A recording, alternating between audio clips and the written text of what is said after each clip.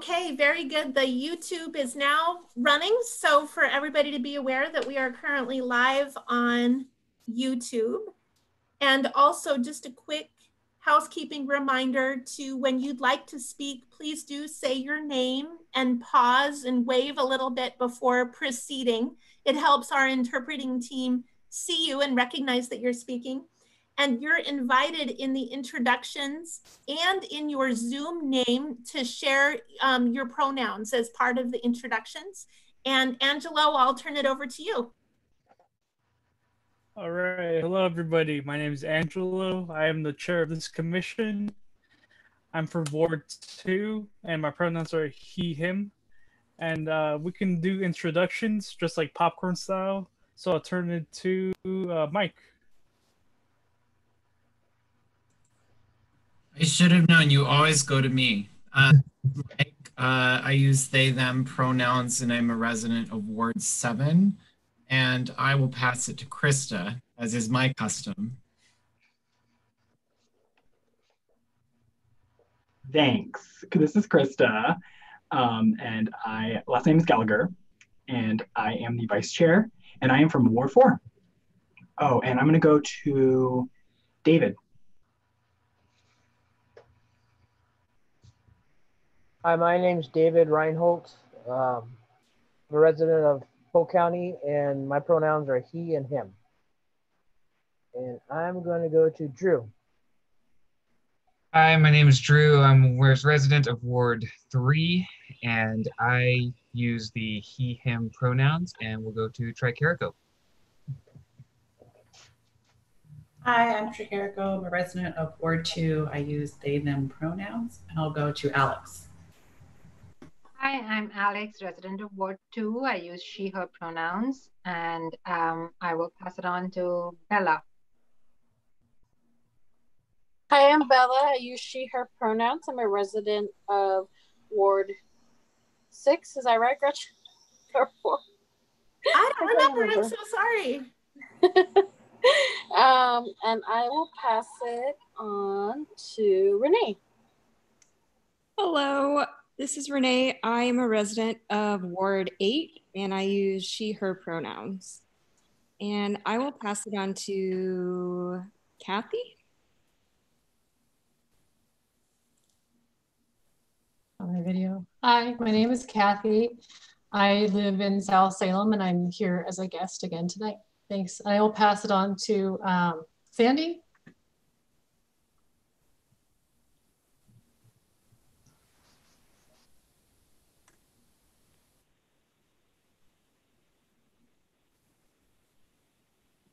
Hi, I'm one of the sign language interpreters.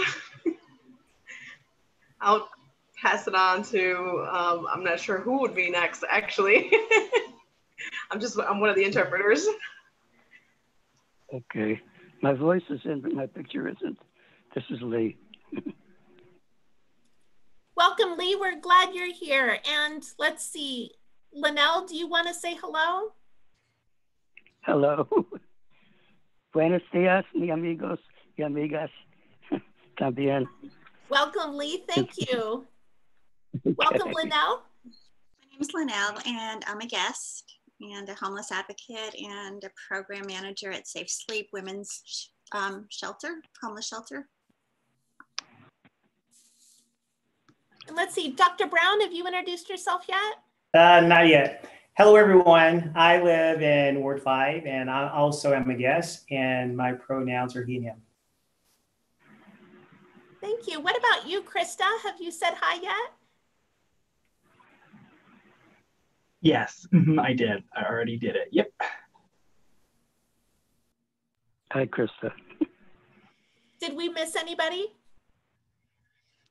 Do you want me to introduce myself, Gretchen, yes, now? please. Okay. uh, Debbie Aguilar, Lieutenant with Salem Police, and I'm the liaison between the Salem Police Department and the Human Rights Commission, and my pronouns are she, her. And I think that's everybody. So, Gretchen, back to you. Very good. Gretchen, staff to the commission from the city manager's office, she, her. And Angelo, I turn it to you.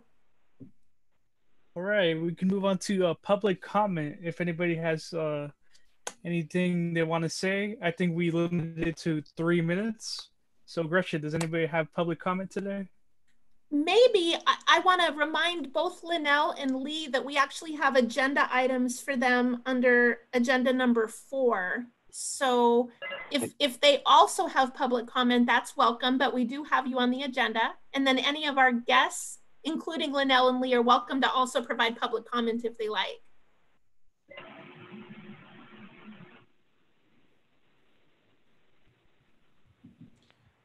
Okay.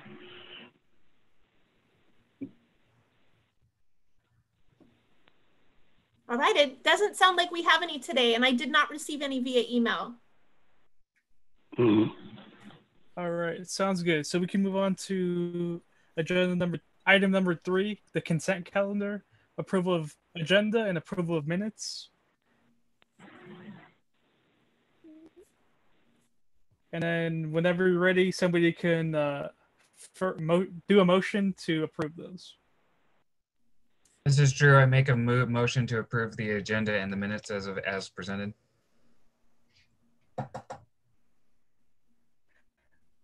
This This is is Bella. I Mike. second.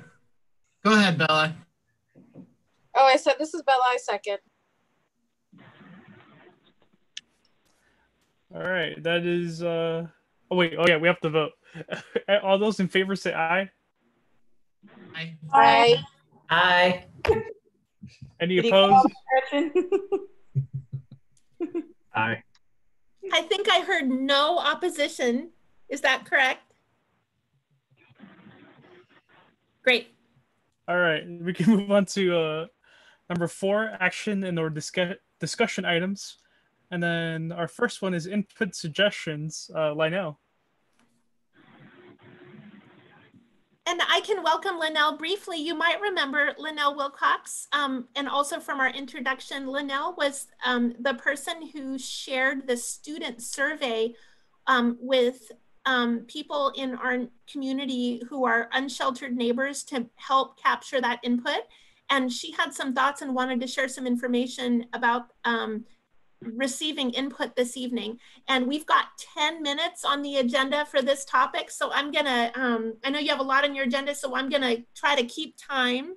And then of course, if commissioners have questions, um, that can also occur as well. And so Linnell, welcome. Thank you for coming tonight. Thank you so much, and thank you for having me on your agenda.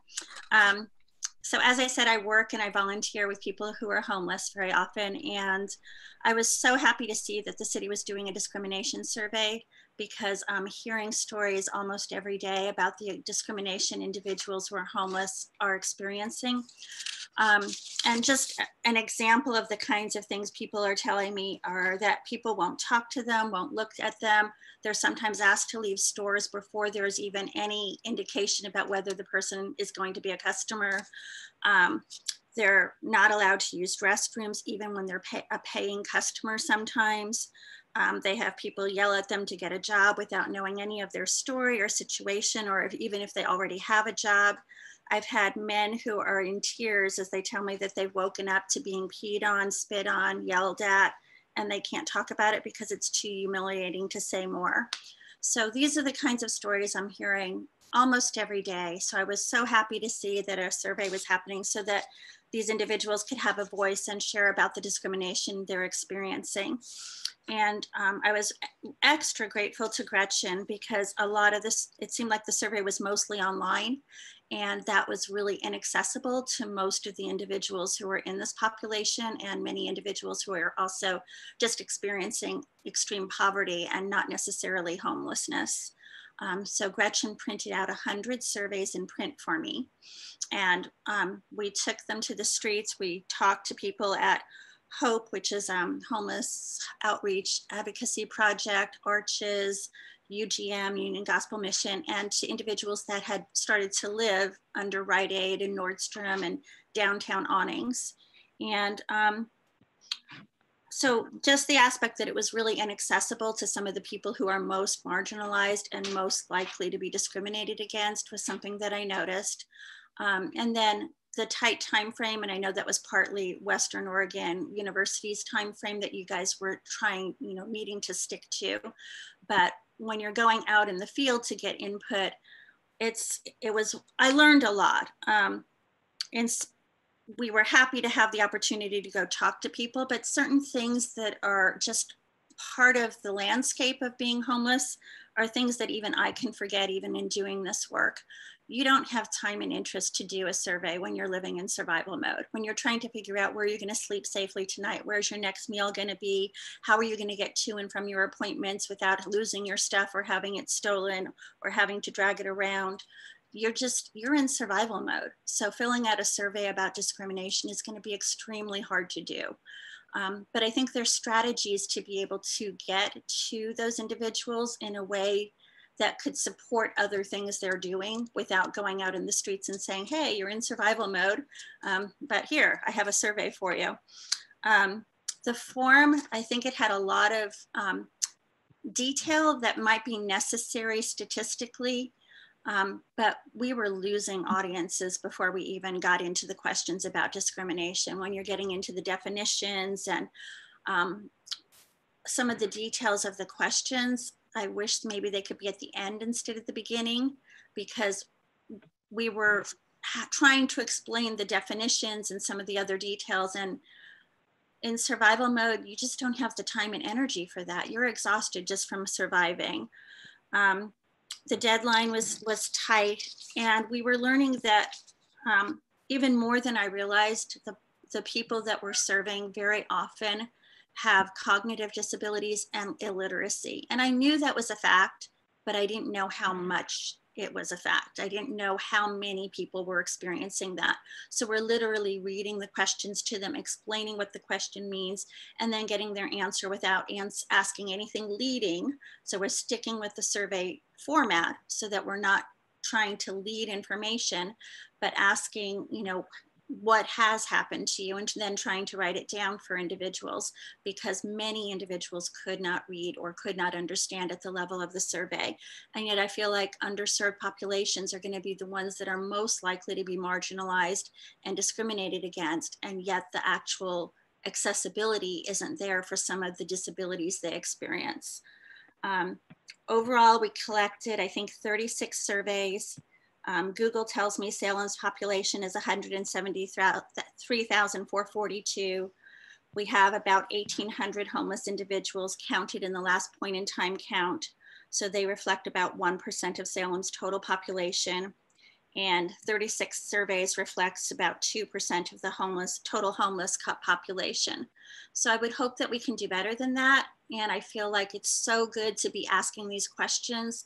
And I would love if um, we could continue to do this kind of question, but really get ways to have this information be more accurate and more effective so that you have the data that's really going to make a difference.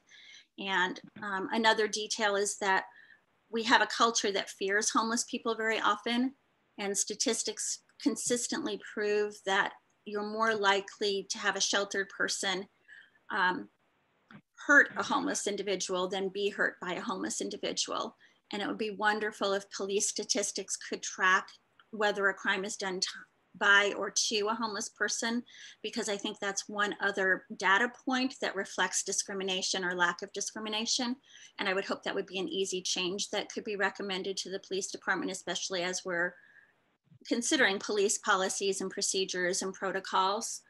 Um, and I think the, I think one thing that was really compelling to me was that when we were doing the surveys downtown at Rite Aid, I knew I had heard that people are getting yelled at and honked at, but kneeling down with people doing the surveys and having horns blaring, honking, engines revving, the noise pollution itself was incredible it was so hard to be able to get questions and answers happening because you literally couldn't hear yourself think. And I had heard that was happening, but being on the ground, literally, you know, on the floor, talking to somebody on the sidewalk and asking them questions, the noise pollution was incredible. And to me, that reflects a huge aspect of discrimination. Um, so I have other things I could say, but I think it would be mostly kind of providing details about those points. Um, and I don't want to take too much of your time. So if anyone has questions, I would be happy if you guys are going to proceed with this kind of survey. I think it's so valuable, but um, we'd really need to do better inclusiveness and accessibility. And if there were a committee or task force that was trying to work on that, I would be honored to participate and just share ideas.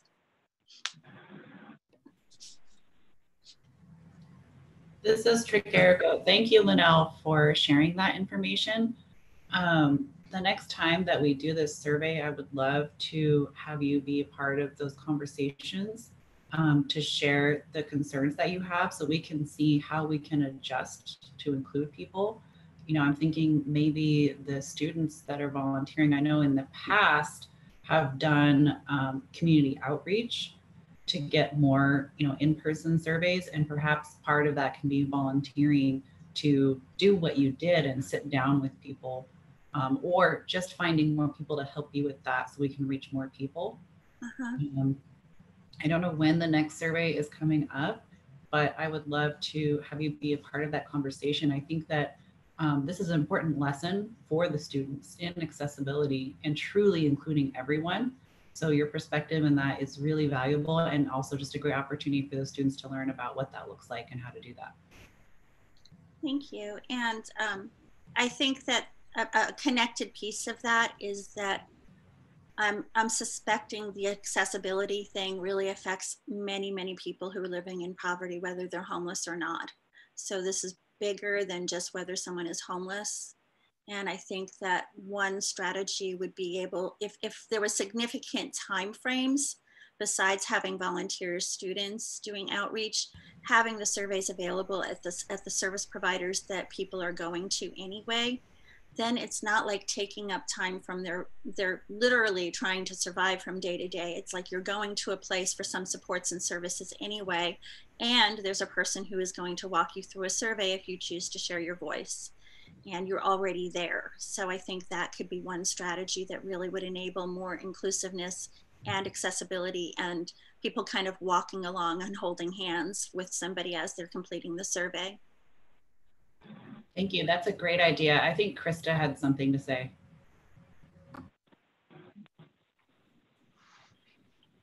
Thanks, Tricarico. I don't know. I, I know that there was a question I had. What is what are some of the like what's the literacy level of the questions on the survey? Wouldn't that be a gretchen question or a, a student uh, wou i don't know. I, I, mean i felt like as i was we, trying to explain some of the things it was i'm reading the definition of discrimination and the definition of discrimination is part of the survey and that in itself was going over people's heads. I, I can try to answer a little bit of it. Um, Bella was in the in the class, of course, and may have other insight from more behind the scenes. Um, we did uh, look at the survey from a literacy perspective and um, actually, I think, made some changes between the first survey and this second survey. But uh, I, I would just concur with you, Linnell, that uh, more can be done. Um, the other major gap in the first survey is that we did not have a Spanish version. Mm. So, in addition to the challenges you experienced with the unsheltered population, we also have a large population of non English speakers in Salem who uh, did not have the opportunity as well. Um, I did want to say, um, not in any way to um, to negate or invalidate anything you said because everything you said is completely valid. But more uh, for additional information, I wanted to say that the survey results from the uh, unsheltered residents were extremely valuable. Um, because you collected them in a different manner, we were able to separate out those results. We were able to show that people who are experiencing homelessness are having worse experiences here in Salem than your general population. So although the tool was very imperfect this year and, and I'm terribly sorry that it was not um, that it that we weren't there yet with the tool, I, I did want to validate that the work that you did was so valuable um, and will feed into what we do with the next survey. Uh, my other hope is that we'll have more lead time with the next survey, um, uh, that we'll be able to jump on it a little earlier. The hard part is that when we're working with the students is we have to follow their semesters. Right. Um, but this time, perhaps we can be just a little more ahead. Um, having done the survey twice, um, my hope is that we can be just just that much more ahead so that you can have as much time as possible. Thank you for coming, really. And thank you for that input. Um, I, I do believe that 36 would still be useful, but just knowing that so many, and I don't know what technically is a good return or a good percent of a population. So 2% seems really low to me, but I don't know what a desirable is. I'm, I'm just not in a statistical field. Um, it's but- probably a better return on our, because of your work, we had probably had a better return on our unsheltered residents than we did on general population. Okay. So in that sense, uh, you really did very important work by getting us even 36. We know we want to include the sample size of the bigger survey as well. Yeah. And thank you for doing this at all. And um, I would expect that in any project like this, we're all going to have learning curves. And, you know, if, if everybody got it like perfect on the first shot, I'd be amazed. So I, I think it's just a learning curve and being able to see, even for myself, I was surprised at how much illiteracy we were encountering and how many cognitive disabilities we were encountering and how much mental illness we were encountering. And I already knew that those are prevalent in, in this population, but it was way more prevalent than I expected. So if I was trying to plan a literacy level, I wouldn't have gone much lower uh, until I actually was in the fields finding out, wow, this is way higher than what most of the people I'm talking to are able to comprehend. And that was a surprise to me. This is Bella. Um, I want to also echo what Mike said. Thank you so much, Linnell, for the feedback. I think, you know, in in trying to make the surveys accessible to many people so that we can actually understand what's happening here in Salem. Um, these are really great considerations to take. And I think, you know, because we're in a place where we most likely still have a few months at least until we're approached by um, the class again, hopefully. Um, you know, this maybe this is something that our awareness committee can work on in terms of you know really solidifying what are the key concerns. And because i was a part of the class um, i do recall what our last term um, what require what the last term required. And so uh, yeah i'm happy to work with the awareness committee to bring your concerns and you know other concerns and things to look for for the next one Thank you so much. And I, I think it connects to also police tracking that data and it, it might connect to um, just being able to have more awareness of how prevalent some misperceptions are. And that can help plan better collaborations with partners who might be able to help collect the data. And thank you so much. You bet, Linnell. I'd be happy to follow up on um, Commissioner Schwartz Tricarico's suggestion about having you at a meeting and let you know if you're interested in that when those meet when those subcommittee meetings are. Thank you all for doing this. I think it's so valuable that you're you're going in this direction. And, and maybe it even feeds into whether homelessness should be a protected class, depending on how the discrimination plays out. I'm very grateful. Thank you.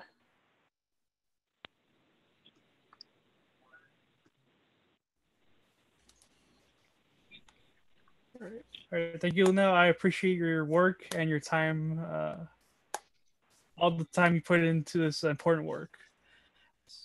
All right. We event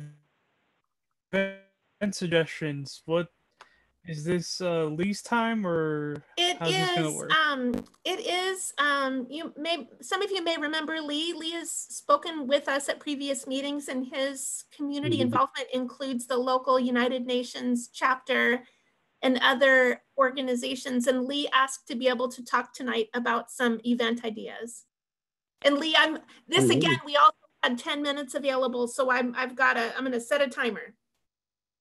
Good. Okay. I'll try not to overtalk. Okay. Shall I start now? Yes, sir. Okay. Our theme is community healing. Background October 24th, 1945. World War II had just ended. Germany and Japan had been defeated.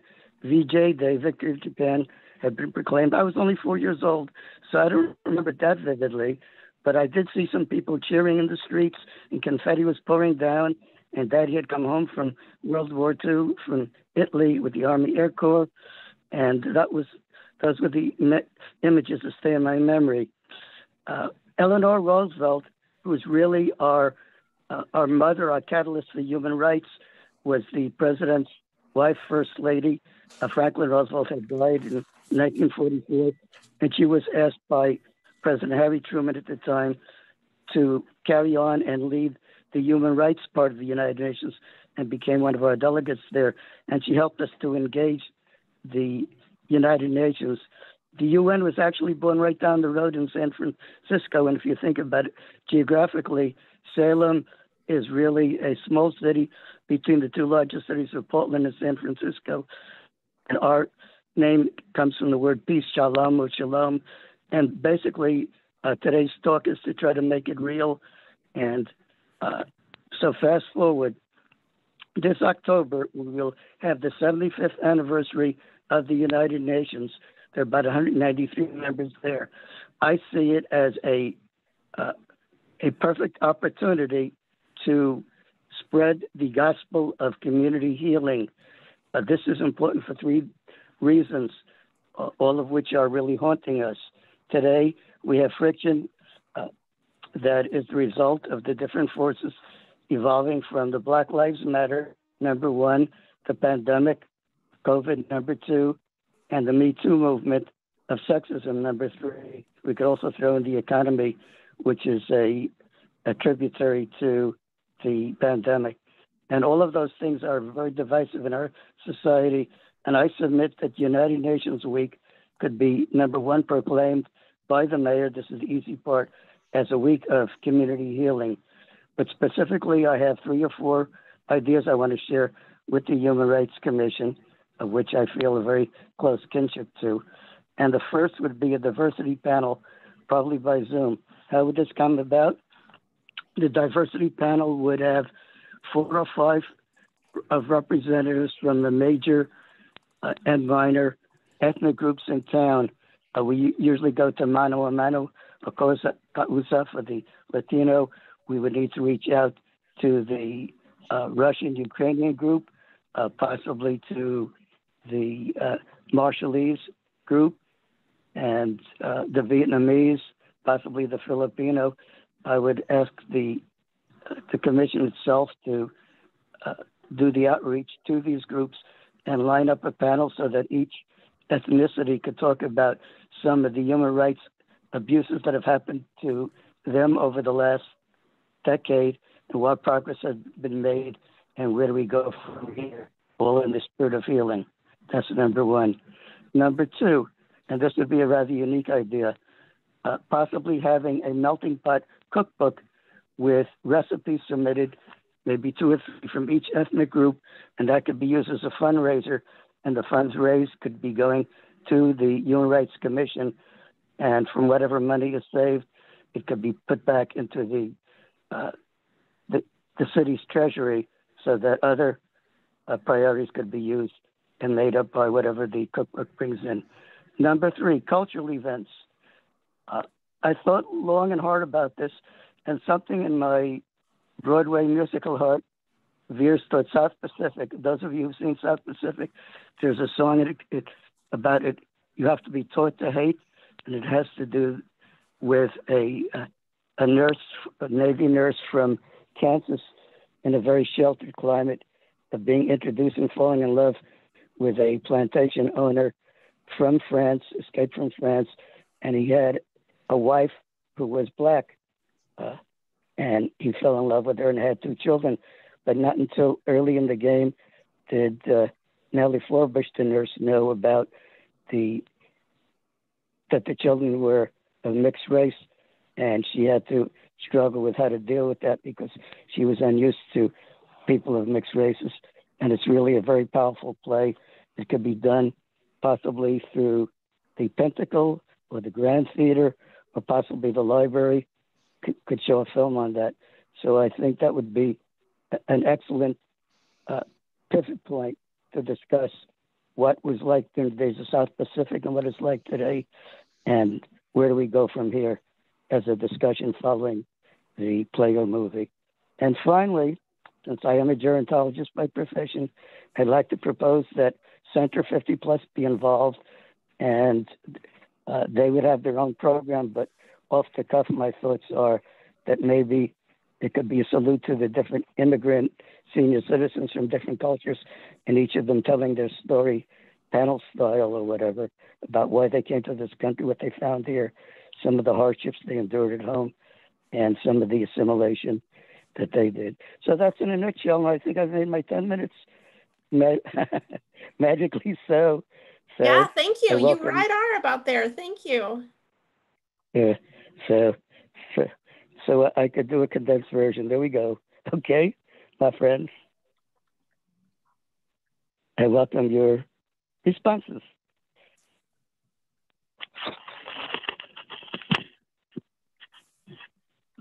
Hello. Yes, thank you. Commissioners, are there any questions or reactions? Uh, this is Bella. I don't have any questions.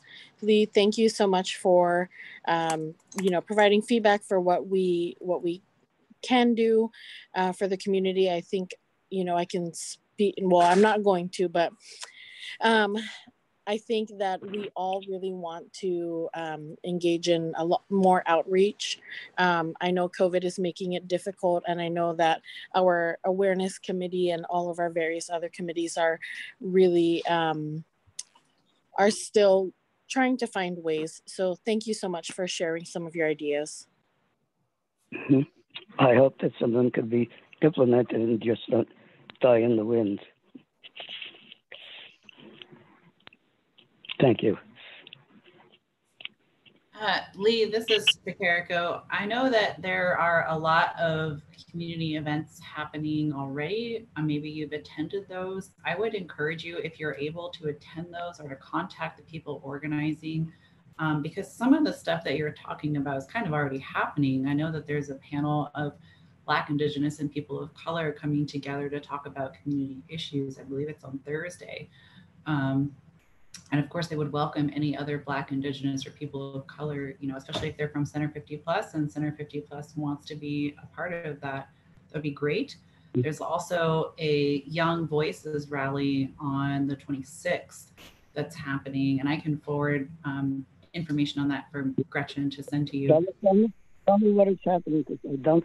I think it may be.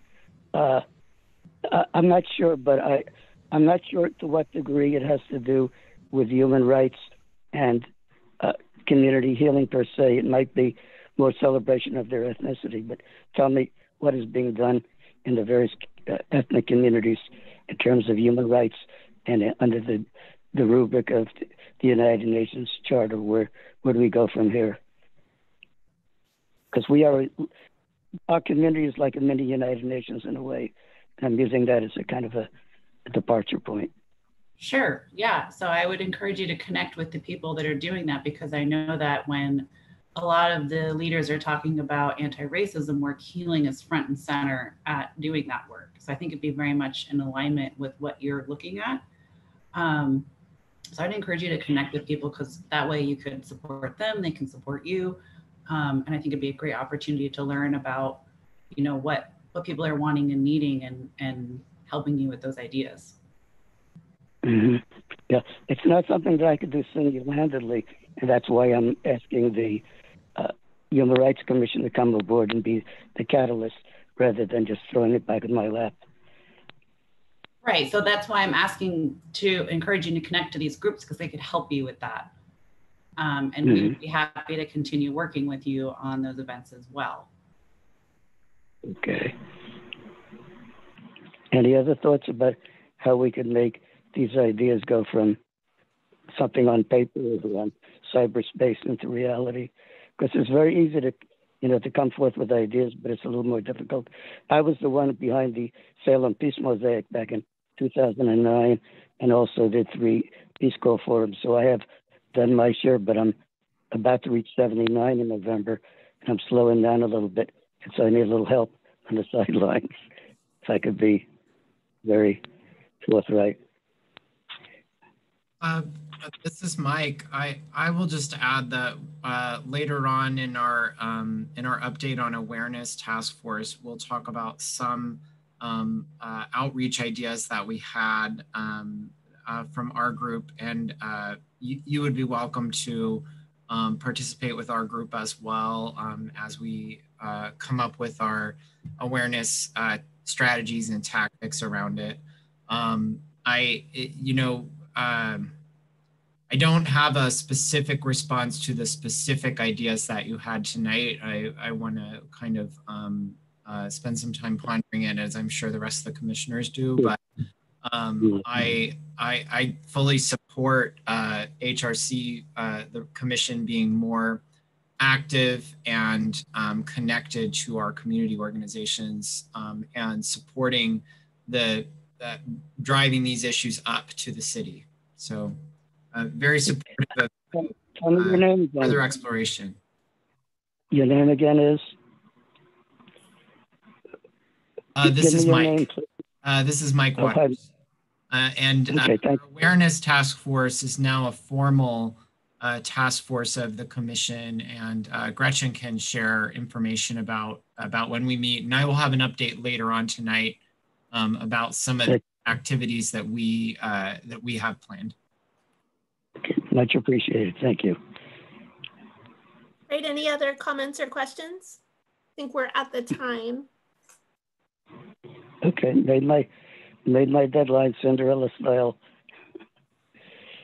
before midnight. Thank you. Okay. Carry on. Thank you so much.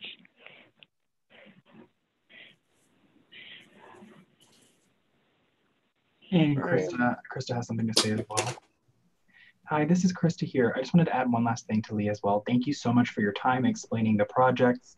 Um, if you have any, if you want any more thoughts or questions on how to make those become more accessible for deaf people or people with disabilities, please contact me. I would be happy to give you some more information. And I know Gretchen can give you my contact information if you'd like more on that part. Okay. Ex- Yep. I admire your spunk and tenacity, by the way. I've seen you in action, Krista.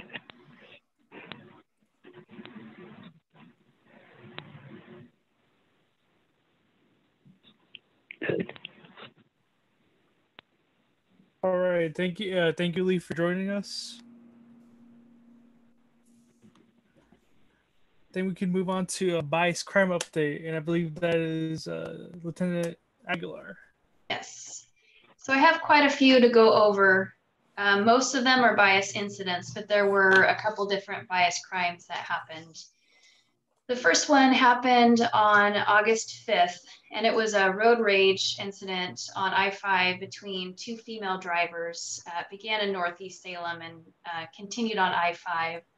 Both drivers ended up uh, stopping in the South Salem area, getting out of their vehicles, um, and having a confrontation, a verbal confrontation. The um, one of the drivers was Hispanic, the other driver was white. And during that confrontation, verbal confrontation, the white driver uh, made some disparaging comments towards the Hispanic driver um, in regards to her um, national origin, ethnicity. Um, ultimately, there was there were no criminal charges, and it was um, not handled as a criminal matter, but uh, it was documented as a bias incident. Um, so the next day on August 6th, uh, Salem police received a report of graffiti that was spray painted on a fence that was adjoining the victim's rental condo. And the graffiti was a, uh, a Y and an N which the uh, victim identified as um, believing that was a uh, racial slur towards her and her uh, uh, her race is black. The victim also said that uh, told the officer that she felt unwelcome in her neighborhood, that she had found a watermelon in her front yard in June of this year, and again felt that was a way to intimidate her, make her feel unwelcome.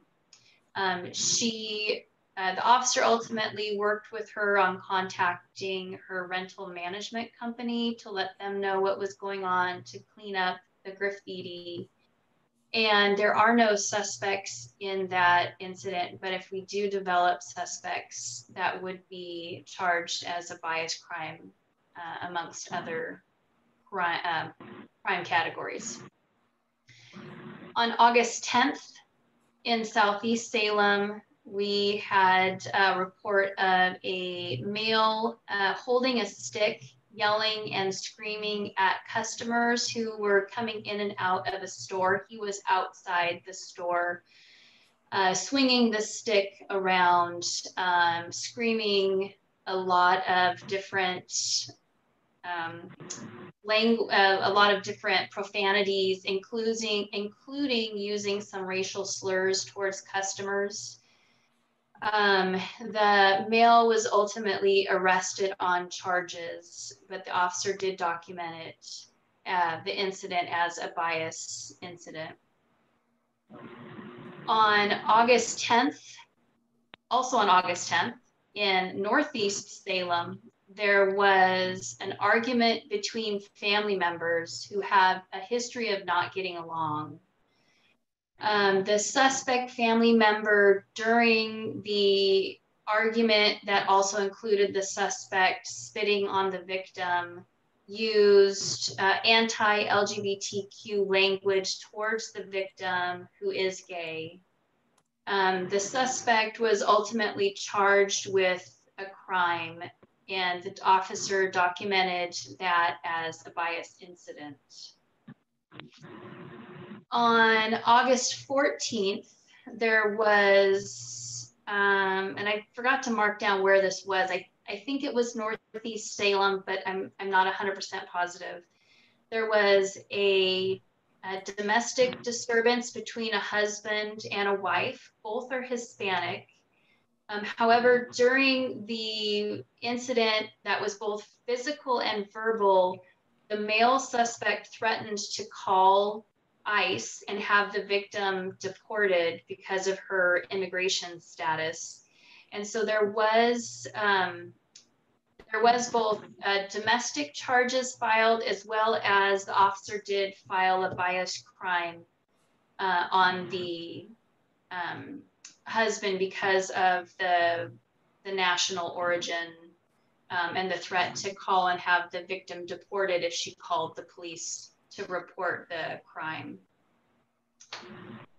Um, so then on August 16th, this happened in central Salem.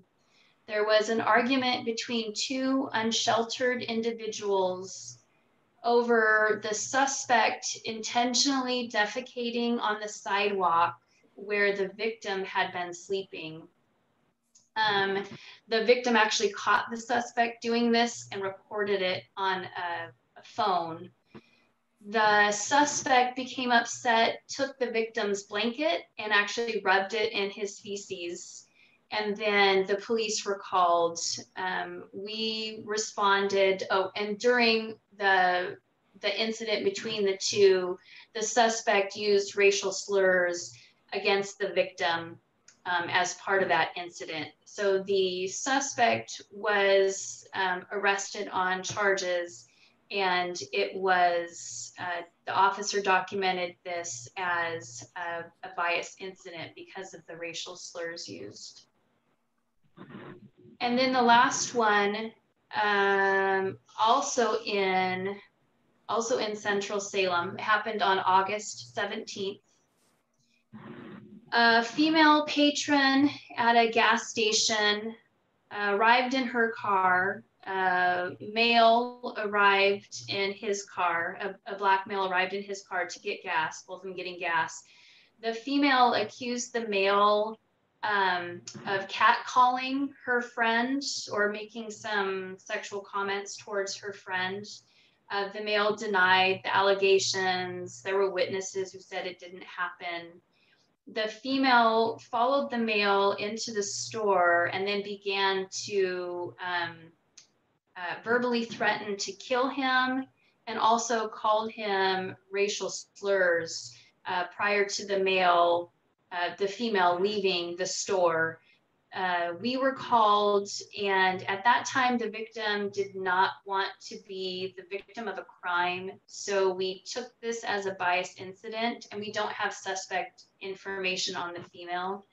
Um, however, if the victim, if we do identify the suspect and the victim does at some point want to be the victim of a crime, we would be able to charge it as a bias crime. So right now we have that one listed as a bias incident.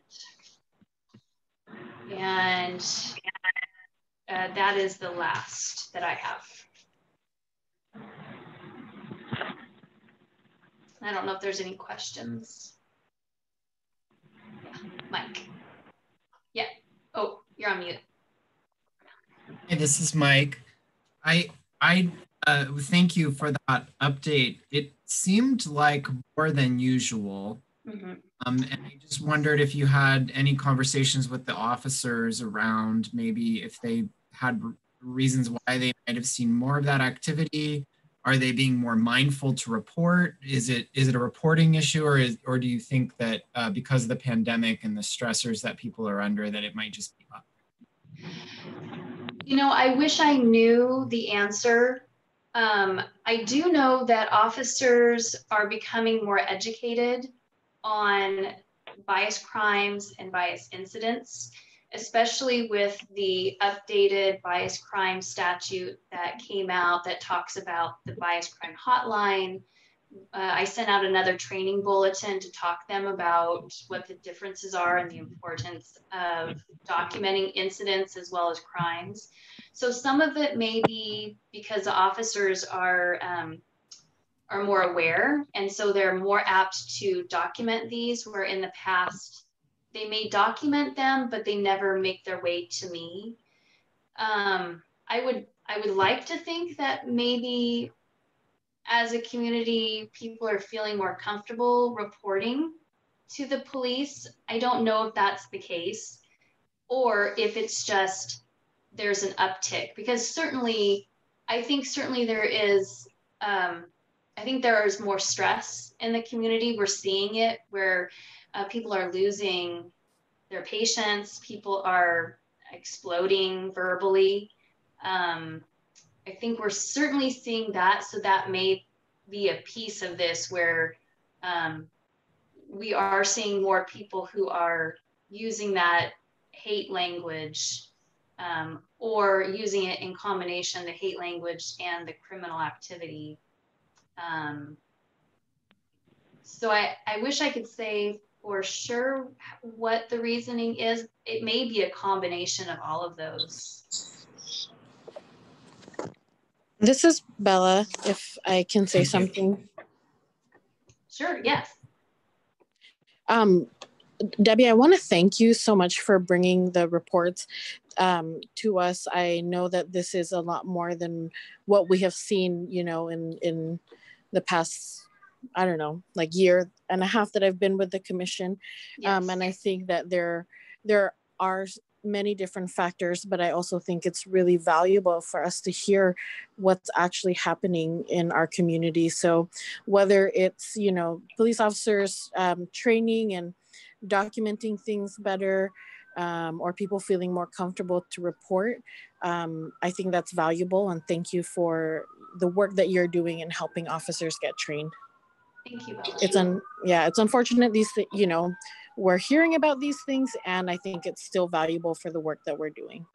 Right. Yes, absolutely. And that's uh, one of the big reasons why I'm reporting on these bias incidents, even though it does increase the time that we talk about this. That seems to be um, more prevalent in in Salem um, where we're seeing more of these um, racial, um, maybe even not criminal incidents, but we're seeing incidents with that bias attached. And um, it's important that the Human Rights Commission understand what's going on in the community, what people are experiencing, I guess.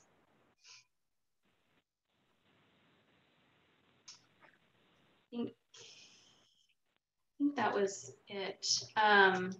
The other, I wanted to, if I, I don't know, can I talk about Linnell's suggestion on the box, uh, not the box, but the reporting on whether unshelters are, okay. So Linnell, uh, as she was talking, I was trying to think, she had made a suggestion about the police department documenting um, whether a unsheltered individual is oh there's Linnell whether an unsheltered individual is a victim of a crime or a suspect of a crime. Um, and so how can we somehow track that? So as you were talking my my wheels were turning trying to figure out um, I think I think there's definitely a way that we could do that with our report writing system because really it would just be a checkbox so I think it's doable. I think that my biggest question would be how do we identify that person as being unsheltered? So is it so when we so I'd have to train the officers on what how do we ask these folks? So if they're couch surfing, would that be considered unsheltered? If they're just living like on the streets in a camp, would that be what we would be documenting because it is kind of so transitional. Um, like maybe one day you're not in a home, but the next day you plan on going into a home. So to try to document it or uh, track it as um, as best as possible, that it might be worth us talking even offline about how how would we go about doing that? Because I, I think it's possible uh, for sure. Just trying to figure out how we can do that. Yes, I'm at a meeting. Who's calling? Um, Lee, I could ask you to mute your phone real quick. That would be great. And Linnell, go ahead. I'm sorry. Oh, no, I, I didn't know if as a guest I'm allowed to respond, so I wanted to check. Um, I'm so grateful that this is even a consideration. And I, I think two thoughts come to mind. Um, when I was talking to Jimmy Jones and some other people who are more experienced in homelessness than I am, um, they're under the impression that sometimes police reports include the word transient as a descriptor. Mm-hmm. So that would be one area where it would count as a homeless person. But I think your points about, you know, couch surfing and other things, I think that if it's possible to move to some to a system that enables that kind of tracking about crimes done to and by individuals who are homeless, I would really want to get input from someone like Jimmy Jones so mm-hmm. that we're making sure that the definitions that we're using fit the statistics that that HUD or other definitions that are commonly used. So I don't feel qualified myself to speak to that, but I think that if if our departments might be willing to track it that way, getting definitions and advice about how to ask that question would be really crucial to have input from someone like Jimmy Jones. Yeah. But at least starting with, you know, when when the word transient is used, that would be one of the times. Mm-hmm. Yeah, I'll look into it and hopefully have something back by the next. That's awesome. The next meeting. And I think that also gives data for other things like whether different laws are having the desired results and effect that we're hoping. But you know, specifically about discrimination, I think it could really give valuable data there. So thank you so yeah. much.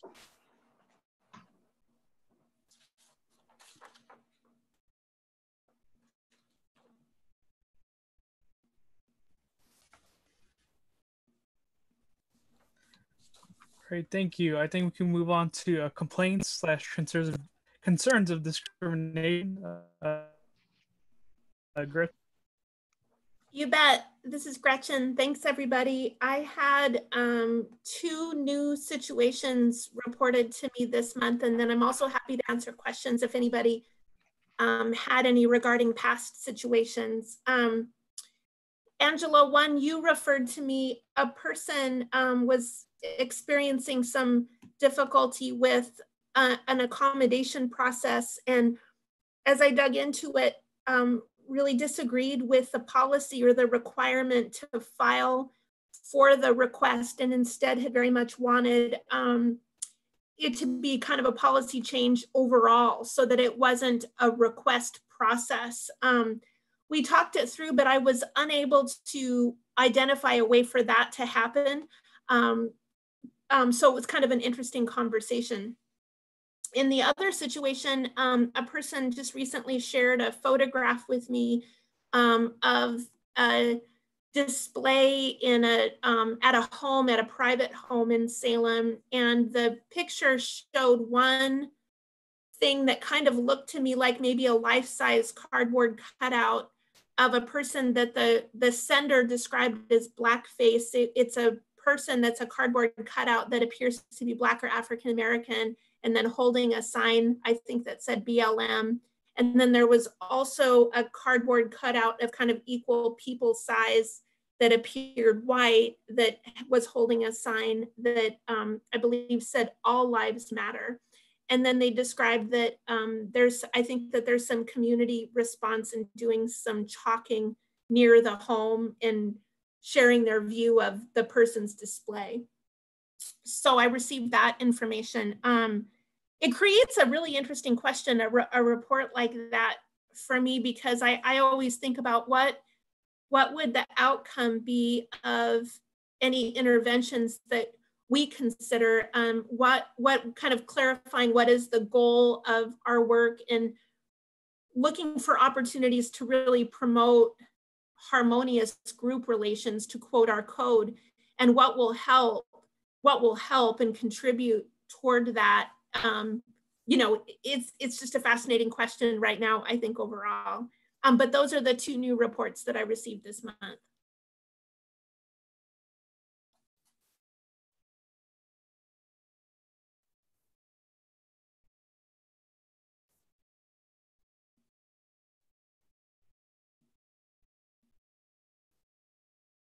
and welcome questions if anybody had any.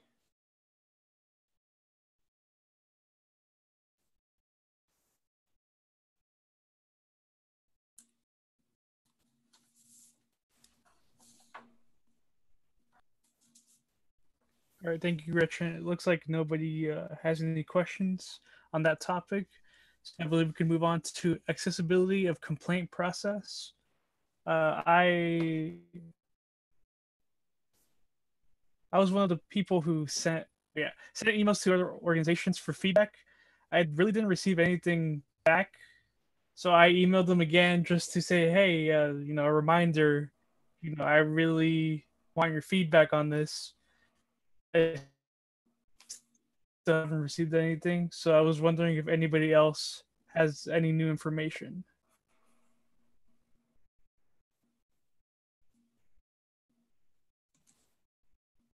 We we did talk a little bit in awareness um, around you know that probably uh, accessibility is certainly a concern, but also just being aware of the resource, and so um, that's that's one thing that I think uh, um, uh, might make a difference is just people being aware of how to report.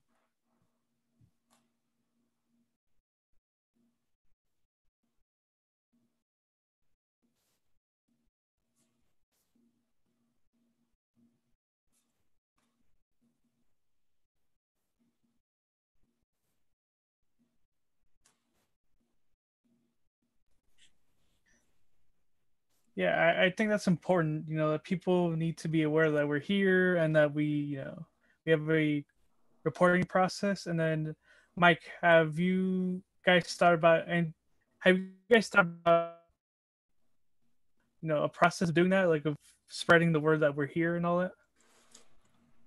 Uh, yeah, I don't want to steal the thunder from my report later, though, on awareness task force. But yeah, we have a couple of ideas. I think for this topic, nobody else has anything. So, I mean, I feel like we should go ahead to awareness, if that's okay. I mean, perfect timing because I'm next on the agenda. Uh, so, Uh, at the awareness uh, task force, uh, pardon me, I'm looking over here because I'm pulling up my notes. Uh, just make sure I have everything. The first thing that we talked about was the series of uh, videos that we would like to produce with CCTV. TV. Uh, we brainstormed a whole bunch of ideas at our awareness task force. And yesterday, Gretchen and I met with a representative from CCTV to uh, uh, discuss um, kind of the uh, what we might need to get going.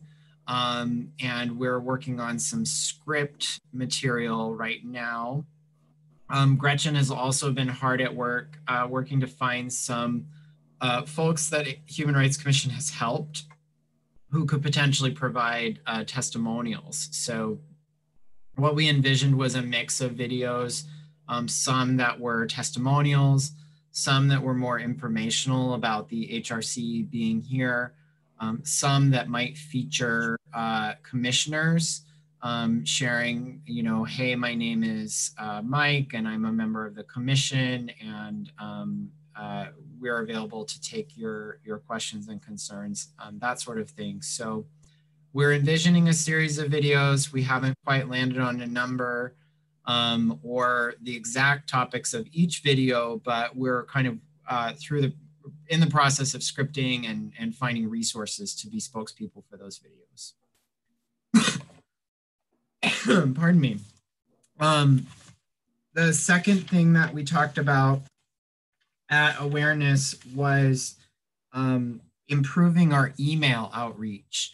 Um, Gretchen has a few different lists uh, that she uses to share information about HRC. But the one thing that we haven't had up until now is actually a formal list of the partner organizations that we participate with. Um, we thought that by developing an email list, this might help us um, solve for some of the challenges we've had with uh, getting the liaison program up and running um, because we would have a more formal method of outreach to people. Um, we could still have um, aspects of the liaison program going. We can still have individual commissioners who can do outreach, but by having a formal email list, we would um, uh, be covering more of our bases to make sure that we're communicating with our partner organizations um, and other organizations that care about human rights. So, um, and then in talking about developing that um, that email list of those partner organizations, that's where we kind of had our big idea, which is that we think it would be a really good idea to call together uh, leaders from those various organizations around Salem to some kind of Zoom meeting or Zoom conference where we would give them kind of the 101 on the Human Rights Commission who we are, what we do, what role we play, how we can help. Um, it would be an opportunity to gather feedback from them as well about ways that we could um, improve our awareness. Um, our, our task force really liked this idea a lot. We were interested to hear what Krista and Angelo thought in particular, because we kind of thought you should lead it um, if we did such a meeting. So um, that was sort of our big idea of the awareness group this month and just wanted to get feedback from the commission about whether we think that's that's a good direction to go.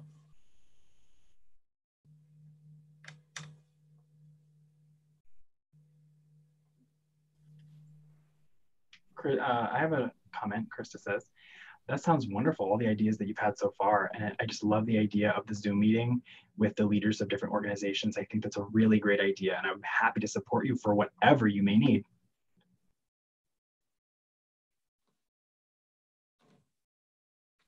Yeah, Angela here. I, I think that's a great idea, and uh, I second that support. So just just let me know. Um, well, great. Now that you know it's a good idea, I'll do the reveal that it was totally David's idea and not mine.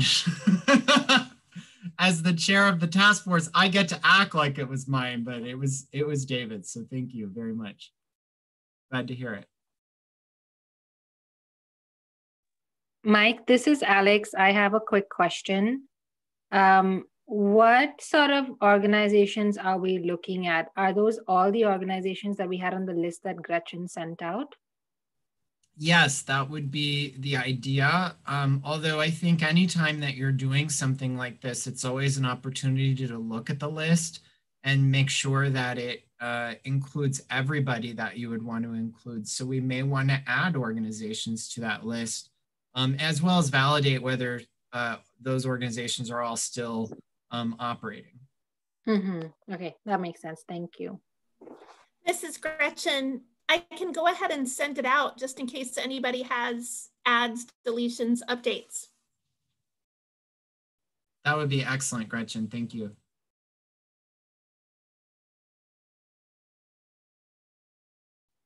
Any other questions for awareness? Um, of course, in our upcoming meetings, we will talk about the next version of the survey um, and uh, hope to have an update for you at, at one of the fall um, uh, HRC meetings as we start uh, talking with Marianne uh, about uh, completing that survey again.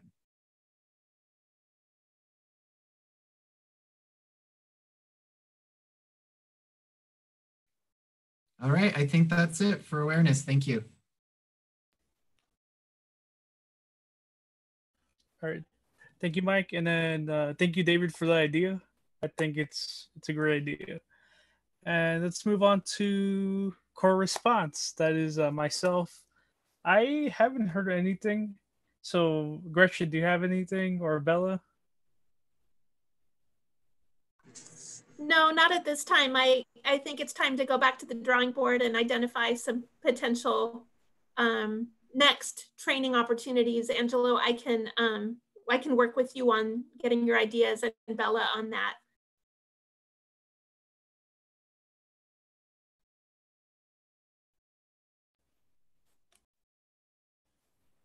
All right, sounds good. It looks like I uh, have some work to do as well then. So we can move on to equity lenses and chapter 97, uh, Tricarico. Yeah, thank you. This is Tricarico. So um, we left that at, uh, I think Gretchen and Alex did some gathering of some equity lenses to look at. And then we all kind of took a look at some of the ones that were available. And we'd like to have people who took on one of those tools to share a quick highlight of some of the things that they read when they were looking through those. Um, I realized now looking back that I looked at the wrong list based on the, uh, I was looking at first name, not last name. So I was looking at the others. But if anyone wants to chime in with what they learned about some of those tools or the things they liked about those tools, that would be super awesome.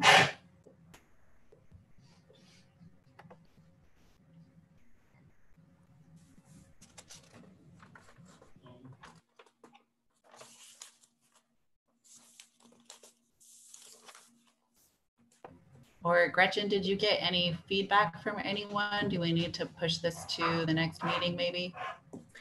Maybe we do. Um, I had one person reply regarding their availability for a meeting the week of September 14th for this small group. I don't know if you all would like to gather as kind of a informal group to discuss them or if you want to invite everybody to kind of read tools and report at the next full meeting.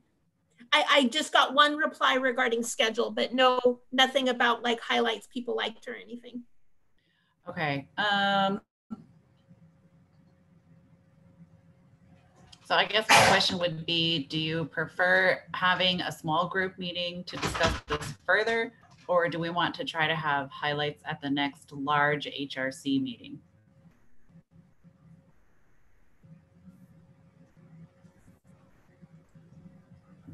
This is Bella. Um, I apologize. I was not um, more active in a piece of, you know, our activities.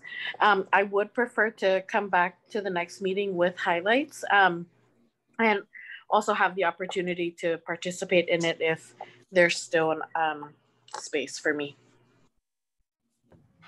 Okay, thank you, Bella. This is Mike. Uh, uh, I also didn't uh, review my um, homework, uh, but I would be interested in participating in a small group the week of 914 if one is scheduled. Um, uh, and then report back highlights at, at larger HRC. That would be, I think, my vote. Okay, uh, I really like this plan. I feel like it would be hard to not take up the whole meeting talking about these things. So Gretchen, can you please coordinate that small group meeting? And then can you also please remind us about, because I did it, but I did the wrong ones. So uh, can you remind us about who's doing what? And then um, let's try to make sure that we get on that and um, maybe have a few reminders. I know everybody's busy, so I really appreciate everybody being willing to have another meeting. I know we're in a lot of meetings right now. Um, to keep this going and just remember that you know it's baby steps. If we decide that we're going to eliminate half that's still progress and then we can regroup and look at the list again. So thank you for your willingness to do that.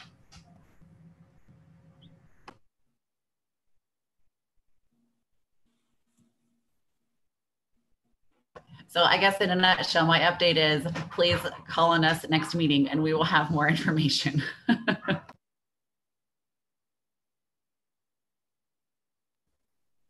Sounds good. Thank you, Erico. We can move on to LGBTQIA plus intersectional rights task force. I really hope I got that right. Uh, Mike. Thank you. Very good, Angelo. Uh, uh, just a few updates from LGBTQIA plus intersectional.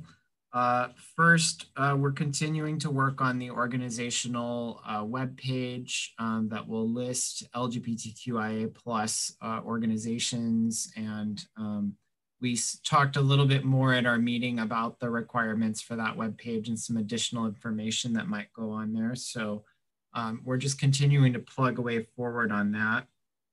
Um, Tricarico has been um, uh, very kind to draft pronoun recommendations and provide resources on those. Our, next step with those is we'd like to get some other commission members to take a look at them um, and think about other aspects of meeting accessibility that uh, that might be included in a in a document. Um, I did look at those Tricarico and my only reaction was that we might want to section off some of the stuff into like resources and have the recommendations be more, you know, just the highlights. Um, but I think that was very easy to do and it was extremely good work. So I just want to thank Tricarico for doing that. Um, uh, so that that uh, pro project is moving forward. Um, we had in LGBTQIA for a while, we've been talking about unsheltered uh, populations and um, the uh, particularly about the service providers and whether um, the service providers had adequate accessibility from uh, for gender nonconforming individuals as well as other types of accessibility. And um, as you know, we developed a survey for those uh, shelters. Uh, there's a, a, coalition group of them that meets once a month and we were unable unfortunately to make the meeting this month in august um, so there's another meeting later in september that we're going to try to attend to. We received a suggestion from one of the members of the coalition around um, it, you know uh, our desire was to gather information about uh, organizational policies related to non-discrimination. And the person wrote us asking um, whether we would also want to find out information from uh, the uh, populations that are affected. And our answer was yes, both. Um, we definitely still think that the survey of the organizations is important because we want to see what policies they have in place, particularly around gender nonconforming individuals, but other issues as well. And uh, then we uh, would love to have some uh, inclusion in, um, what, what was it called, Gretchen? A point in time count? Mm-hmm. The point in time count, I think that's tentatively scheduled for January 29th. And, and that's an opportunity where we might be able to gather feedback from the people directly in that population about what they're experiencing. So uh, we kind of gave them a both yes answer on that. Um, and that meeting is coming up later in September with the, that coalition. Uh, the last item that we discussed at LGBTQIA plus uh, task force, intersectional task force. See, even I get it wrong sometimes. I love it though. Uh, such a good name. Um, uh, is a Transgender Day of Remembrance. Um, that is happening this year on a Friday, Friday, November 20th. Uh, our task force is interested in how we um, convert this to a virtual event because it will obviously have to be um, uh, at that time. Um, so we're endeavoring to uh, put together some of those details. Um, we would like to have uh, at least an advertisement for the event available by September 26th because that's the Young Voices rally that Tricarico has mentioned um, and is an important outreach opportunity for us. So um, we're hoping to have some of the uh, event details, enough of them nailed down so that we can share a, a flyer or something at that event, um, which I will be tabling if anyone else ha has not uh, volunteered to table yet, yet, come join me. And I think that is everything for LGBTQIA plus intersectional. Does anybody have any questions?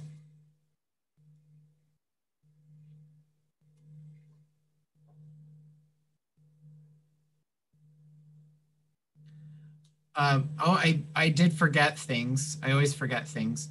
Uh, uh, there were two items that we talked about toward the end of the meeting that uh, may be on our agendas in future. One is the concept of uh, queer uh, LGBTQIA sort of center or space. Um, Tricarico is involved with some folks that are, are working on that concept through the um, uh, the location, the building that we heard about last time at the broader HRC uh, meeting um, uh, on Medical Center Drive. Um, so that was uh, very exciting to hear that, that some of that is already in progress. The other concept that we discussed very briefly, and I think will be a discussion at future LGBTQIA uh, intersectional meetings, was the, um, the concept of a safe spaces sort of um, uh, program. A, um, the word is, is slipping my mind as we get later in the evening. A program where businesses and organizations could designate themselves as a, a safe space um, and have some sort of pledge that they might sign and some sort of decal, decal that could go into their uh, window. Um, and what we talked about at, at LGBTQIA is that this extends beyond our task force and, and could include um, uh, other groups in the pledge um, that businesses might take. So we're really interested in pursuing that concept as well.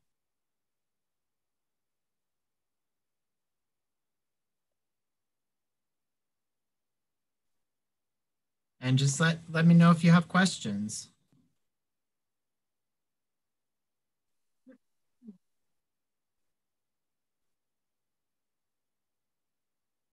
All right. Thanks, everyone.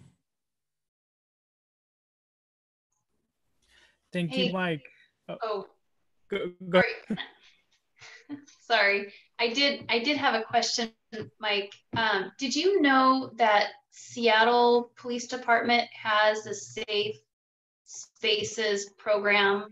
Like, it's exactly what you're talking about, where businesses uh, sign up and then they place a sign in their window. It was started by a, a police officer. He's he's since retired, um, but it's uh, so it, the off, uh, businesses sign up to put that in their window, and then it also encourages officers to visit those businesses to connect with not only those businesses but that community. So I can get you a bunch of information uh, on it so we can because I don't think they have it copyrighted. We could, I think I contacted him once and I think he said that we can use whatever we want. So I'll get you that information. That would be so completely awesome. Um, I have a little bit of experience with safe, safe, safe space programs on college campuses, but I have not seen a ton of examples of citywide safe state space programs. So Seattle has one, and if any of you hear of others, um, please please pass them along. Thank you, Lieutenant Aguilar. That's excellent.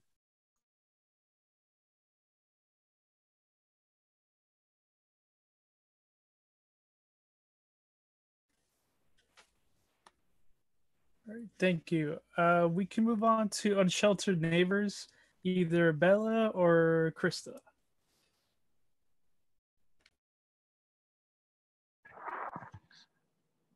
Uh, this is Bella. I have not been um, able to attend any meetings, and so I'm gonna just defer it to Gretchen or Krista if they have anything to share.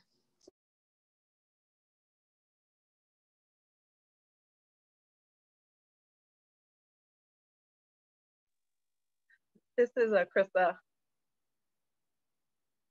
I don't really have much to add at the moment. Um, I do uh, just want to say I had a schedule conflict this uh, month, so I wasn't able to attend. But the next meeting, September 16th, I'm hoping to be able to attend that. Um, Gretchen, I'm not sure if you have anything else to add at this point. It's now a, a pretty central part of my work to have the opportunity to to work in this area and on this topic, but as it relates to our survey specifically, I think that was covered already under uh, Mike's report. And yeah, looking forward to attending the meeting with any commissioners that can to progress the survey. And I've not done, I owe everybody some legal research. We were contemplating the idea of um, adding to the list of identities or protected classes. And we've gathered some information from another city. Um, and I haven't had the opportunity to um, make progress on the legal analysis side, but that's also that's on our task list to try to study and understand. So more to come on that too.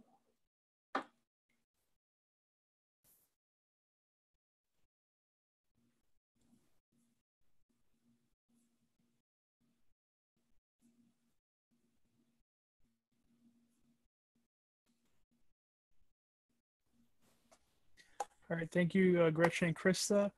And then we can move on to Youth Outreach. Uh, Nathan isn't here, but I'd like to hear more about the Young Voices event if uh, you do that, Tricarico. Yeah, Tricarico here. So the Young Voices Rally is something that's being put on by a couple of groups. So um, Equity by Design, which is ONI's group for um, anti-racism training classes, um, as well as the SURJ chapter of Salem standing up for racial justice. It's a new thing, but there's nationwide chapters. Um, and there's a lot more people involved as well that I don't remember off the top of my head. The idea is to kind of gather different community groups together and talk about okay, you know, how do we get involved with city politics and state politics and how do we make the changes that we want to see? You know it's less of the you know rah rah protest type rally which those are very important too and more of the what are the specific actions that people can get involved in? It's also very much aimed to be an educational opportunity um, because i think a lot of people especially young people are okay, well, how do I get involved? How do I make my voice heard? How do I make the changes that I want to see happen? Um, we will also have speakers there, and I say we because I'm helping organize it. So that's why I can't help Mike Table because I just won't be able to do both. Um, we'll have speakers there. He'll be talking about things as well. Um, so it's I'm really grateful that Mike is going to be there, and I'd love to have more people there. You know, who are comfortable. I know events are challenging. Um, we are going to have it outdoors, so there'll be space for social distancing. And um, I do believe we have masks, and you know that's something that we have encouraged every event that I've been to um, with the same people. Is we really encourage the social distancing, the masks, hand sanitizer. You know, we have more hand sanitizer and masks than we know what to do with.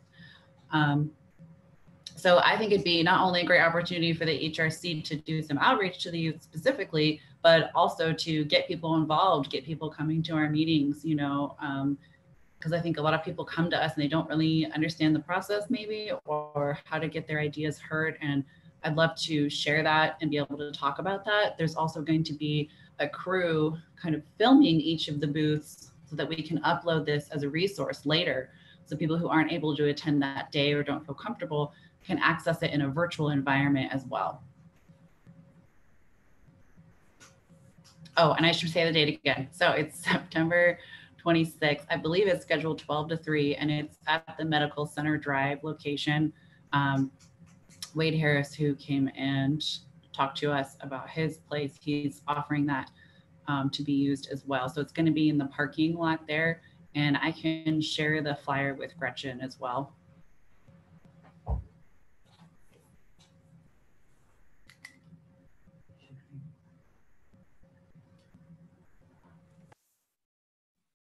Oh, and please let me know if you have questions.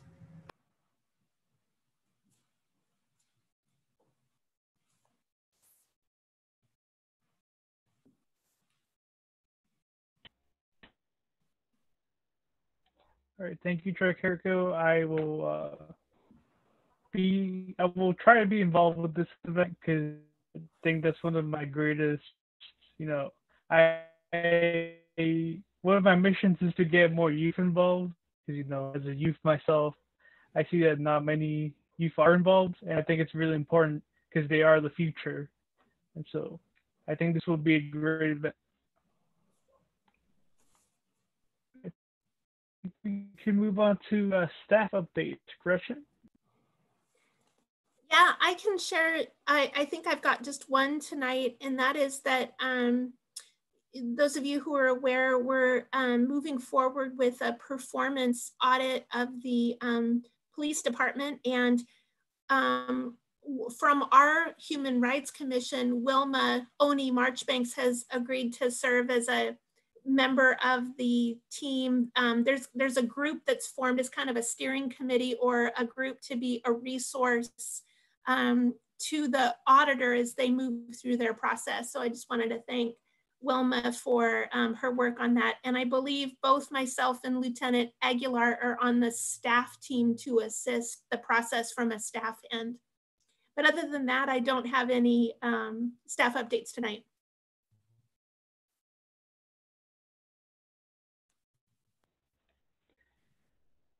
Thank you. How about a community calendar? You know, I don't. I've been not really building the document lately, I, I guess I have found less, and yet there are a lot going on. I think I'm just becoming less and less capable of pulling that document together. So I, I know we've talked about a couple of events this evening, but I don't know if anybody has any others to add.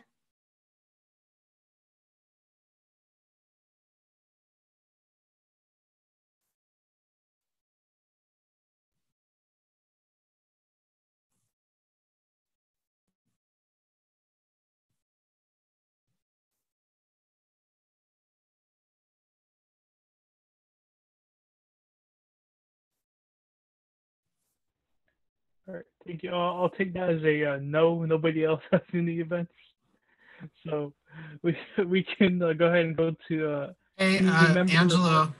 Uh, Angelo, yes. this is this is Mike. I uh, I apologize. I was trying to look this up. There is uh, Capitol Pride happening on October 11th.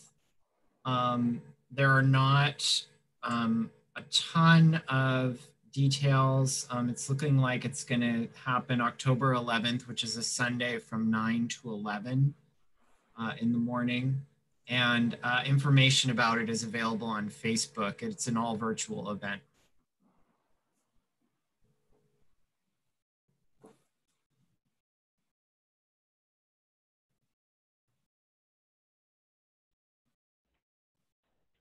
All right, thank you, Mike. And then all right, member remarks and announcements. Anybody has anything to say? This is uh, your chance, your opportunity.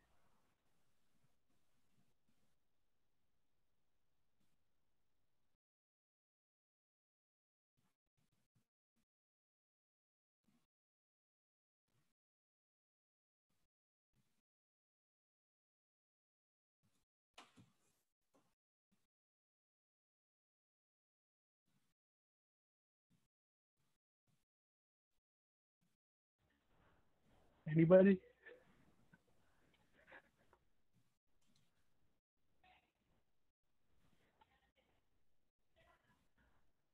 All right, we are a little early. If it's okay with everybody, I think we can uh, call this meeting, and this meeting is adjourned.